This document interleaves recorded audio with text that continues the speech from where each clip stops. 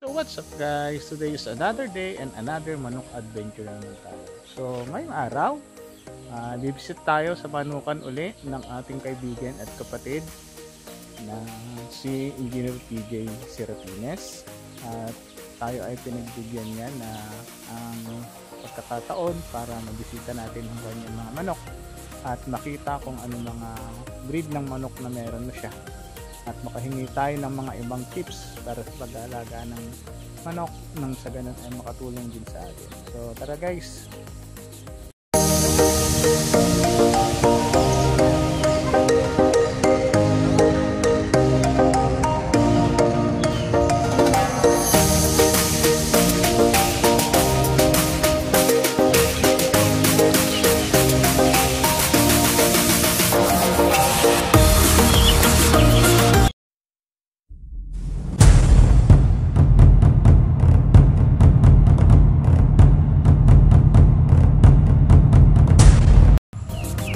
Pinalaw natin yung, yung ano, manukan ni Engineer PJ. So ayan na siya. Ang ating kamanok, engineer na, negosyante pa. So, dami mo na palang ano, ah, ano yan, mga anong lahi yan? D107. Ah, panig panibago na naman ah. Yung mga gray. Mm -mm. Ano yan? ah, dominant CZ. Yan, Yan yung sa... sa Sa... Sa... sa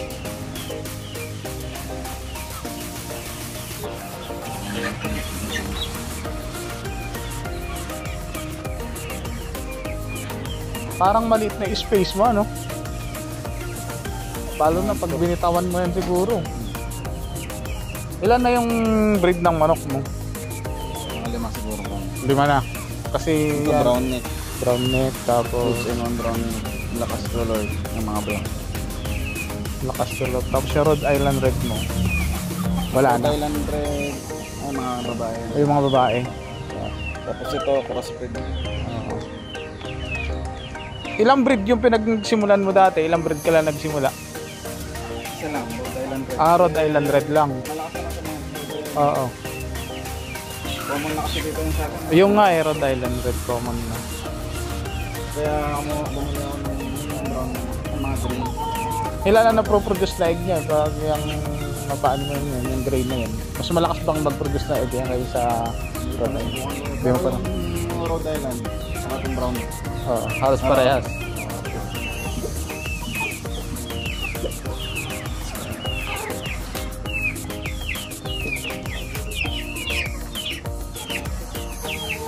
Yeah, itlog niya. Ah, yeah, ang ganda no? Ayan yung itlog nung Ito mga brown. ah, yung mga brown. Ganda, mas brown siya. Mas dark ang pagka-brown niya. Yung Rhode Island naman kasi, tsaka yung Black Solid. Ganito, yung masyado maputi. Oo, mapu- ay maputla. Yung sa mga... Yan, oh, yan.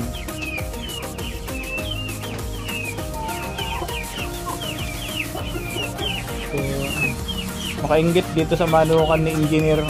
Nakaayos lahat yung ano, pugaran. Hindi pa nga naayos ko yan. Ang lagay na yan, di ba? so, ang ganda talaga nung ito. Dito talaga ako na ano. Yung gray ang maganda. Uh, ngayon lang ako nakakita ng manok na ganito eh. Uh, 107. Mga kabir ko mo sabi. Ah, yun. Yan yung kabibili mo lang rin. Oh.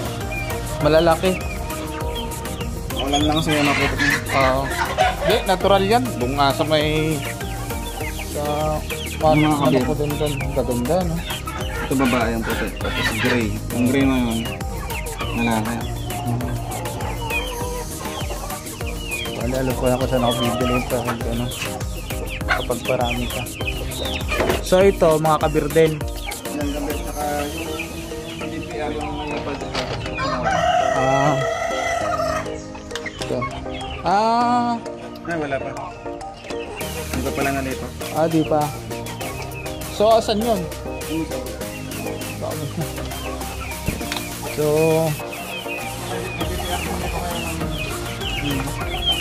Hindi siya, ano. May mga baltic na. ah, yung mga bulik na yan. Ah, DTR. Pero red Plymouth to. Tapos ito, BO, Backward to. Yung kasabay nito, namatay na eh. Dami mo mo palang breed eh. Mahirap, itong pirang, ano, mahirap buhayin yung dilaw na ano. Dilaw, anong breed yan? Top Orpington. Anong crossbreed na to? Dami ka na palang breed ng manok. Nakakalibang talaga magmanok. Malalaking lahi itong bulik na to eh, di ba? So, magkano ang presyo niyan? Yung nagre-ring siya mga ganyan na mga breed. Depende, Sa laki o sa ano na? sa edad. Sa edad. Pag may edad, mas mahal. Oo, isang daan. Siguro mga 50 isang Isang itlog 50. Pero pag yung mangingitlog na, mas mahal na yun ano. Itlog, Oo. egg, Oo. yung day, day old, week old, Oo. month old. Tapos yung 3 months, Mm. 2 months. RTL, ready to lay mga 5 months na. Oo. Mga, pag mga ready to lay ng gano'n, mas mahal na. Pagka RTL, Oo. mga kumakatsaw na. Ah, yung mga, yung mga ganyan. Pagka trio, ang ano, minsan may mga isang lalaki lang. Isang pares lang. Sa naman. Mm. Tatlo lang, yung sampu, ayun, tapos nawala isa. Oo. Dito doon, puro lalaki. Sinabay ko na ito. Mm. Ano hospital dati, ngayon, Naayos na. Ah. So, mga nagkasipon yan. ito halo. Ito yung BPR.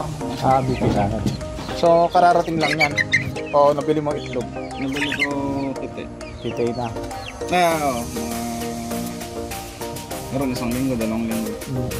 Ngayon, mga malalaki yan. Oo nga, malalaki yan. Yung gusto ko rin alagaan yung ganyan yung mga bulog. Ang problema ko lang, halos na nakukuha ko lagi. Puro lalaki. Ah, hindi. Hindi mo ba alam kung paano magtingin ng... Hindi ka gaya doon sa mga, yun, mga gray na yun. Mm. Saka yung ibang brown doon. Nabibili ko, pag in-order ko nga, puro babae, puro babae tumating. Pero pagka ganito, Mahirap talaga. mahirap pa natin. Pero nga, nakita mo yung kulay nito doon sa kampak kulay doon, Mm. medyo black na may puti. Ito medyo green na, Uh, mag-gray-gray. Yung kasi mas matingkad yung kulay yun. kasi ito mga kabir. Yung sa, yung Pero nagsama sama ko mo na lang. kasi sabay na sila. Yung brown ng kabir. Hindi. Kapir lang yung ngayon. Ah, kapir lang. Yung gray. Nahalo lang kung limang BPF. Bali 12. Malakas ko nga yung mga Nandun ano ang lahi niya, Wyandotte. Wyandotte na naman. Baba. Babae lang nabili ko. Yung lalaki wala ko na. So, Ito mahirap buhayin ko yan. Yung vapor pinton, madalas ako namamatay dyan. Namamatayan nito? Mahirap buhayin. Hindi ko kaya ano kahit na may... so ano naman advantage niya? Ba't ginusto mo yung manok na yun kahit mahirap buhayin? Mga... Dito kasi sa akin sa Aurora, bihira yan. Mahira yung ganito manok. Tsaka nga rare siyang hirap siyang buhayin kaya Oo. pag sa market, mas maganda rin, no? Magbibili din. mahirap siyang buhayin. Pero madaming naghahanap. Oo. Parang ano siya. Ano? Yun nga, limited lang yung... Breed niya. Hmm. Oo. Tapos dito sa Aurora, wala pa sa Aurora. eh. Parang may hipon nga siya, no? Yun? So, ayun. Nakahiwalay sila dun sa marami kasi pagka, namata, pagka nahawa sila, yan na lang meron ako eh. Isang wine dot, dalawang vapor. Pero nung binili ko to, lima. Oo, lima. Yan na lang Pero ang natira. order ko kasi dito sa wine dot, apat. Ata. Yan lang. Sobrang mahal. Oh, yan lang. Magkano Isa niyan? Yung... Isang kita 900. Ako. Yun yung... Ang bentahan niyan, maabot ng 20 mil pagka na... malaki na. Oh. Ay, sobrang laki siya siguro. Hindi naman. Pero rare kasi siya. Red talaga. Saka mahirap yung buhay. Hmm. Buti nga nakabuhay ako sa babae isang lalaki eh. Ito babae isang lalaki. Ganun. naman may sakit ako nung dati na ang pinakamahirap na sakit sa akin nung Coraisa. Oray. Ay, na- normal talaga yun na ma- ano, mahirap talaga daw anuhin yun ng ano, manok. Yung nabubulag sa mata. Oo. Pero ito kasi ang naging sakit naman yung bulutong. Oo. nga hindi nagtuloy ng horizon. Hindi ko lang alam kung ang bulog na isang mata. Mga kamanok, napasya na natin yung mga manok ni Engineer PJ. So, nakita natin na dami niyang alagang manok at iba't ibang breed. Meron na din siyang pado. Ba masasabi mo engineer sa pagmamanok? Mahirap ba o ayos lang? Mahirap na sa, sa panahon natin. Oo. Kasi yung panahon dito sa atin, uulan, iinit yan, no? kalaban. Madalas kagaya mo. Wala. Hmm. Iinit Problema ako sa pagka open air na naka-pre-range na ganyan. Oo. Pagka gusto na lang lumabas, lalabas lang sila. Yan ang maganda. Sila, dapat pala talaga may kulungan na pag maulan, nakakulong. Oo. Kaya, um, May silungan sila ng engineer. dati nga, ang sulangan ko lang dyan.